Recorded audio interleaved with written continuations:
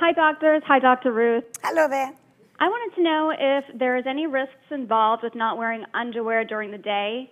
I've been asked before to go commando, and I was wondering if this is okay or not. Is it dangerous? Health wise, again, the vagina needs to breathe, so it can be great to go commando or without any underwear, but you have to be uh, aware of your surroundings. Obviously, if you're in a lot of public areas, you know, and sitting down, you may want to be careful of, you know, hot seats, you know, especially in the summer, or sharp objects Or and things like down. that. But just Or to just to exposure. ask, isn't Commando the ultimate let it breathe Yes. set of underwear? Yes, but you do have to be careful because some dyes in your jeans Oh, can actually cause skin irritations for both men and women. You can get caught things caught in zippers and stuff That's like mainly that. a male problem, Yeah. and Well, we've can be a all seen women's the movies. Yeah. But you need So- button Be careful out Women there. could do it Yeah. too.